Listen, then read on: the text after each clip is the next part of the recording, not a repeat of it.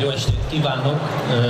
Amint elhangzott, Diószegi László vagyok a Martin György Néptánc Szövetség elnöke, és azért ragadtam magamhoz a mikrofont, hogy felkonferáljam a Martin György Néptánc Szövetség gálamúsorát, a Martin Gálát, amely Kalotaszeg tájegységet fogja bemutatni.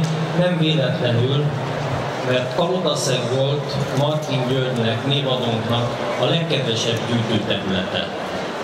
Ezért a Martin György Néptáncszövetség elnöksége úgy gondolta, hogy a mai műsort Martin György munkásságának szenteljük. Mondhatnám azt is, hogy ezzel próbálunk kedveskedni neki, illetve a Borbé Jolánnak, Martin György özvegyének, aki sajnos nem tud itt tenni.